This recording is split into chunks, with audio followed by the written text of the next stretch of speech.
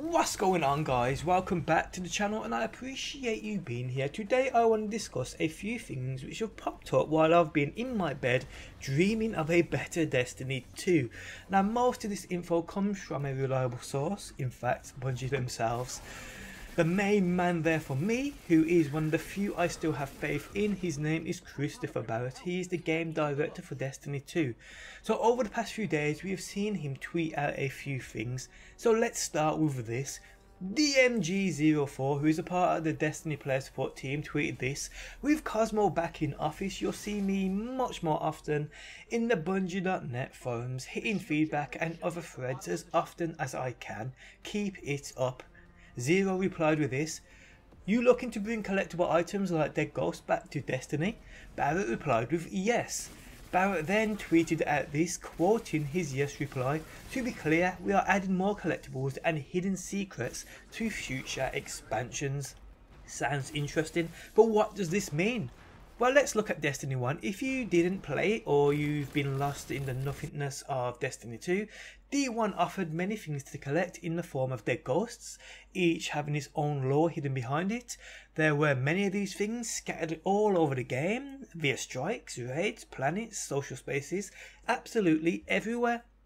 They were great to collect, they were great to grind for, they really were. Now things as such returning would be welcomed on my behalf and it would add to the depth this game really needs.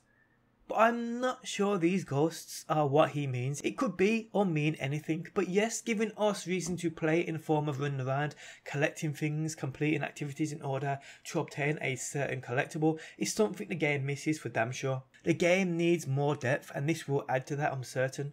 Interestingly, he states hidden secrets added to future expansions. Now this for sure tickles my pickle. With expansions for Destiny 1, we saw the likes of the Sleeper Simulant, the Outbreak Prime, the Touch of Malice, the Black Spindle, and many other secrets which came with expansions. These were absolutely great, they really were. Now we knew some of them existed, but some just sprung up. The Black Spindle, for instance, was found, I believe, by accident, and all of a sudden, boom, it was there, a secret exotic within the game. This is the sort of thing many, many of us enjoy and miss from the first game. There was nothing like running around trying to find hidden things, which no one else had discovered yet. And they don't even have to be exotics either, just loot exclusively to a certain activity. It falls into the same category of enjoyment you get from playing something such as strike exclusive loot. Secret loot hidden within activities also adds to the itch only scratched by playing. This is what most of us miss. So adding secrets into future expansions can only be a good thing. Now moving on, a Messer Sean asked this. Will weapon and arm mods be discussed? Barrett replies with an image of a black bull saying signs point to yes. Now we all know the mod system in this game is well, well let's not beat around the bush here, it sucks.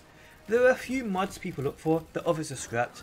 What we need here is variety Give us reason to truly want to receive mods, give us reason to search for mods, give us reason to grind for mods. I mean, I have a million ideas of how to make a mod system work, but I'm pretty sure you guys do too. Let's just hope they deliver on this aspect of the game. Okay, so moving on, and TIE Fighter 17 asks this. Will Derek or Josh finally inform us on PvP? Barrett again replied with the same image, signs point to yes. Now for me, PvP is in a way worse state than PvE. PvP for me is just like, well, I'll play two games, get bored, and go back to PvE. I would absolutely love a reason to play PvP. I know they mentioned ranked systems, private matches, etc etc, which is great. And this should be expected to be covered in the weekly update which will come out later, discussing all the above points also. But yeah, PvP definitely need, again, more depth to it.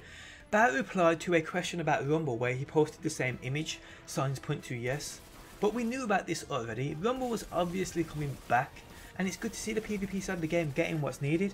Now as for me, I actually like playing PvP, there's just no reason to play it at the moment, give us reason to play and people will play, it's as simple as that. Now as great as all of this sounds, I don't mean to end the video on a negative remark. It's super good these features are being added to the game, it truly is.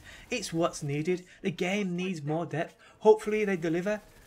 But the point here is, the features being added here, Rumble, Rank PvP, Collectibles, Secrets, Depth, Endgame and so forth, really should have been a part of the base game. I mean, it's great they've seen what's missing and what we want and they plan to deliver on that, but in reality, it shouldn't be in its current state to start with. Said features should be already in the game, and with that in mind people, if the game was fine at this point, and we weren't missing features as such, imagine what a major update to the game right now would have brought to the game. Imagine what we would be getting at this point people, just imagine.